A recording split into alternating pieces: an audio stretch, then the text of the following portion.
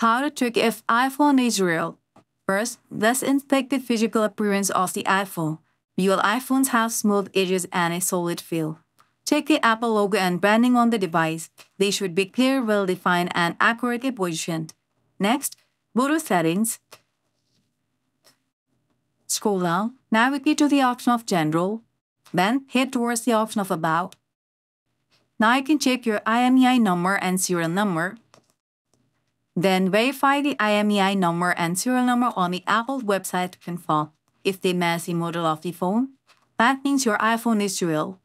Next, check the operating system. Your iPhones run iOS, so if it looks significantly different, it may be counterfeit. Inspect the accessories that comes with iPhone, such as charging cable and adapter. Genuine Apple accessories have specific design features and markings. Test the functions and features of the iPhone, including the camera, touchscreen, responsiveness, and connectivity options.